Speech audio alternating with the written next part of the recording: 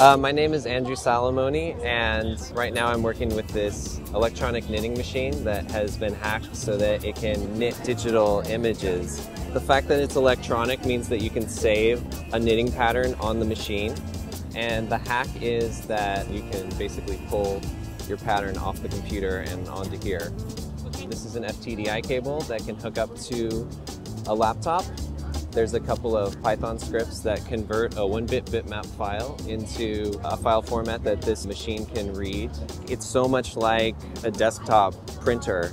It automatically adjusts the position of the needles on the needle bed and then depending on the position of the needle, it picks up one of the two uh, colors of yarn in the feeder and then that basically builds up the image as I as I make each row.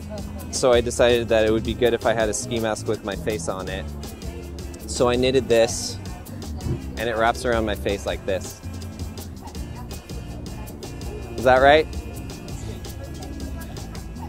This is a sample of the Amen break, which is uh, one of the most famous break beats, and pretty much all drum and bass music is based on it. So this is a loop, and that'll be like a little scarf for somebody. Visually, it's just such a ridiculous looking contraption. The output from it is so is so nice and useful. This is a project that I just finished, and this is a, a sweater that I made for Bill Cosby.